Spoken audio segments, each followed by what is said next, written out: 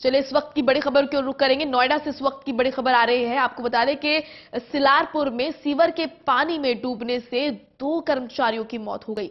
Sewer line की खुदाई कर रहे थे ये मजदूर और केस की जाँच में पुलिस जुट चुकी है। नोएडा के सेक्टर उनतालीस थाने का ये मामला है। बड़ी खबर इस वक्त की। आपको बता दें कि सीवर की सफ़ाई करने के दौरान दो कर्मचारियों की मौत हो गई। बड़ी खबर इस वक्त की सीलापुर से।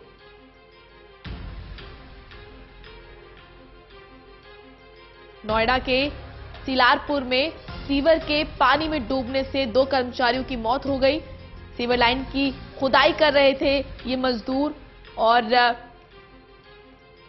किन कारणों से मजदूरों की मौत हुई, इसकी जाँच कर रही पुलिस और कारणों का पता लगाने की कोशिश कर रही है। साथ ही आपको बता दें कि नोएडा के सेक्टर उनतालीस की घटना है, जहाँ पर दो कर्मचारियों की मौत हो गई। शिव त्यागी हमारे सहयोगी जुड़ चुके हैं। शिव किस वक्त ये खबर सामने आई और क्या कुछ पूरा मामला बताया जा रहा है? देखिए, मोनिका, ये बीती रात की घटना है, जब दो सफ़ाई कर्मी नाले के अंदर सफ़ाई कर रहे थे, तभी सफ़ाई के करने के दौरान उनके वहाँ डूबने से मौत हो गई और जैसे ही वहाँ जो लोग थे, उन्होंने उनको डूबता देखा तो वो उन्होंने तमाम अधिकारियों को कॉल किया, उसके बाद एनडीआरएफ की टीम गाजियाबाद से पहुँची और आठ लोगों की टीम रात रात करीब ढाई बजे से सर्च ऑपरेशन चला रही थी और आज सुबह दोनों चली गई हैं।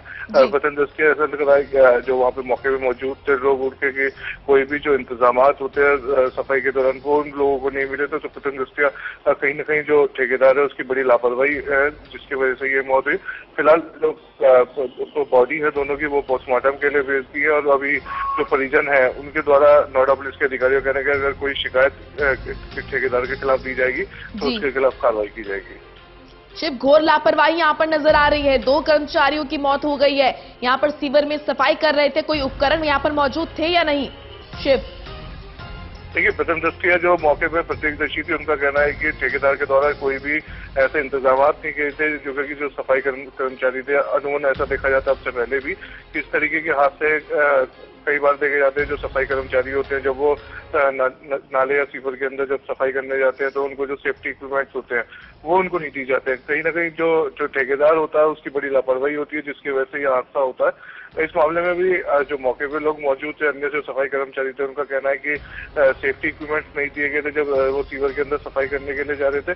तो ऐसे में अब ठेकेदार के खिलाफ भी प्रशासन के द्वारा हालाँकि अभी तक कोई बात नहीं आई है निकल के कि कोई कार्रवाई करेगा, लेकिन पिछली बार जब नोएडा के सेक्टर 110 में सफ़ाई के दौरान दो जो सफ़ाई कर्मी थे, वो अंदर गिर गए थे जिसमें उनकी मौत हो गई थी। उसके बाद सिटी मजिस्ट्रेट के द्वारा ठेकेदार के खिलाफ कार्रवाई की गई थी और जो मृतक लोग थे उनके परिजनों को मुआवजा दिया जाता है। तो ऐसे में अब देखा जाएगा कि पीड़ित परिजनों के द्वारा अगर ठेकेदार के खिलाफ शिकायत की जाती है तो ऐसे में अब प्रशासन के द्वारा या पुलिस के द्वारा किस तरीके की कार्रवाई की जाएगी? शिव क्या सेफ्टी इक्विपमेंट थे ठेकेदार के पास? क्या जानबूझकर उन्हें कर्मचारियों को सेफ्टी इक्विपमेंट नहीं दिए गए?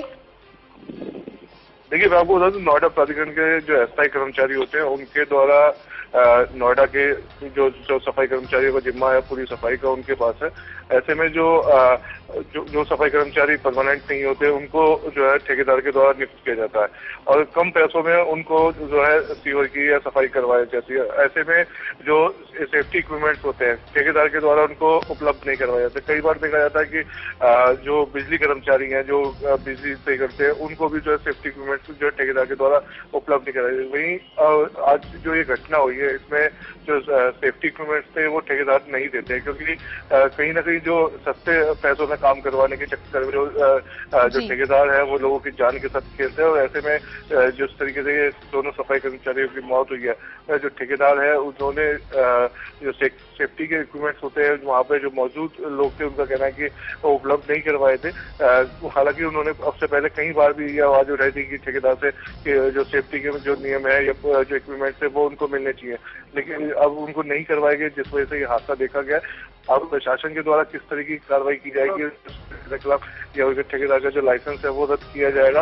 लेकिन अभी तक जो पीड़ित परिजन है, उनके द्वारा नोएडा के सेक्टर उनतालीस थाना में जब शिकायत दी जाएगी तो पुलिस के अधिकारियों का कहना है कि सख्त से सख्त कार्रवाई ठेकेदार के खिलाफ की जाएगी। जी। बिल्कुल, घोर लापरवाही यहाँ पर बरती गई है शिव, और ये साफ़ नज़र आ रहा है, और इससे साफ़ नज़र आता है कि एक मजदूर की जान की कीमत क्या है इस देश में। बहुत बहुत शुक्रिया आपका हमारे साथ जुड़ने के लिए, तमाम जानकारी के लिए।